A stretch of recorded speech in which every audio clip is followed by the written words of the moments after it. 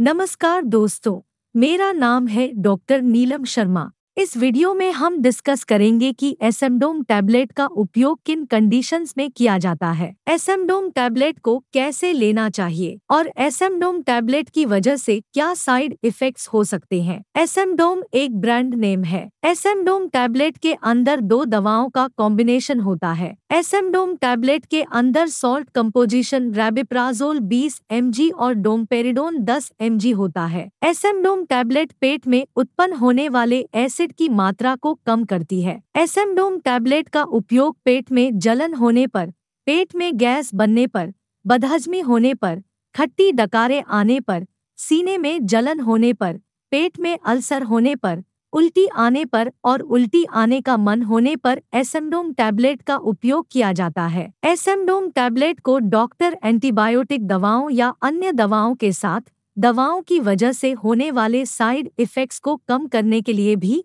लेने की सलाह दे सकता है। जैसे दर्द को कम करने के लिए उपयोग की जाने वाली दवाओं की वजह से पेट में जलन, पेट में दर्द या पेट में अल्सर हो सकती है। इसलिए इन साइड इफेक्ट्स को रोकने के लिए भी डॉक्टर एसएमडोम टैबलेट को दर्द की दवाओं के साथ लेने की सलाह दे सकता है। ज़्यादातर एंटीबायोटिक दवाओं के सामान्य साइड इफेक्ट्स में उल्टी आना उल्टी आने का मन होना और पेट में गैस बन सकती है। इसलिए एंटीबायोटिक दवाओं की वजह से ये साइड इफेक्ट्स ना हो। इसलिए आपका डॉक्टर एसएमडोम टैबलेट को एंटीबायोटिक दवाओं के साथ भी लेने की सलाह दे सकता है। इसके अलावा एसएमडोम टैबलेट का उपयोग कुछ मेडिकल कंडीशंस जैसे गैस्ट्रिक अल्सर एसिड रिफ्लक्स और जोलिंगर एलिसन सिंड्रोम को ट्रीट करने के लिए भी एसेमडोम टैबलेट का उपयोग किया जाता है। जोलिंगर एलिसन सिंड्रोम एक ऐसी स्थिति है, जिसमें पेट में एसिड का उत्पादन बहुत अधिक होता है। दोस्तों, अगर आपको वीडियो पसंद आ रहा है तो कृपया वीडियो को लाइक करना व चैनल को सब्सक्राइब करना न भूले। साइड इफेक्ट्स की बात करें तो वैसे तो ज़्यादातर व्यक्तियों में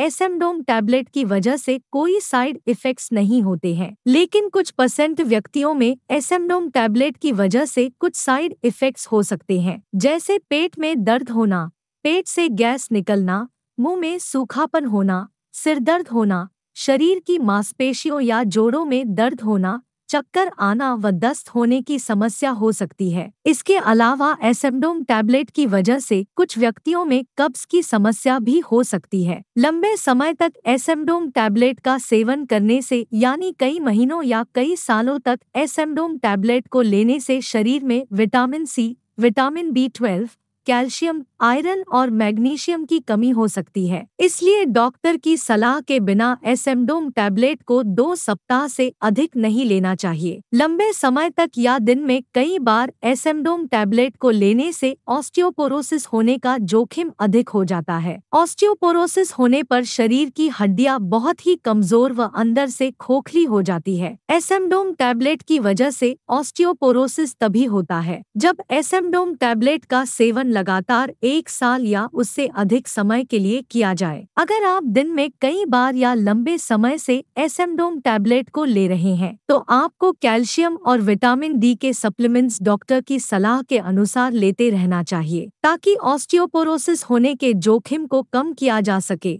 या आपको कैल्शियम से भरपूर खाद्य पदार्थों का सेवन भरपूर मात्रा में करना चाहिए और विटामिन डी के लिए हर रोज 10 से लेकर 15 मिनट सुबह की धूप में बैठना चाहिए। अब हम डिस्कस करेंगे कि एसेमडोम टैबलेट को कैसे लेना रिकमेंडेड होता है। आमतौर पर 12 वर्ष से अधिक उम्र के ज़्यादातर व्यक्तियों को डॉक्टर एसेमडोम टैबलेट को दिन में एक बार और सुबह खाली पेट लेने की सलाह देते हैं। एसेमडोम टैबलेट को खाना खाने से कम से कम एक घंटे पहले लेना चाहिए। एसएमडोम टैबलेट की डोज उम्र शरीर के वज़न और बीमारी की गंभीरता के आधार पर कुछ व्यक्तियों में इससे अलग भी हो सकती है। वैसे प्रेग्नेंट महिलाओं और स्तनपान करा रही महिलाओं के लिए एसेमडोम टैबलेट का सेवन करना रिकमेंडेड नहीं है। लेकिन ज़्यादा ज़रूरत पड़ने पर डॉक्टर प्रेग्नेंट महिलाओं और स्तनपान करा रही महिलाओं को एसेमडोम टैबलेट को लेने की सलाह दे सकता है। इसलिए प्रेग्नेंट महिलाओं और स्तनपान करा रही महिलाओं को एसेमडोम टैबलेट को लेने से पहले डॉक्टर डॉक्टर से परामर्श लेना चाहिए। वीडियो को देखने के लिए आपका धन्यवाद। अगर आपको वीडियो पसंद आया तो प्लीज़ वीडियो को लाइक कर देना। चैनल को सब्सक्राइब कर लेना। और अगर आपका एसएमडोम टैबलेट से संबंधित कोई प्रश्न है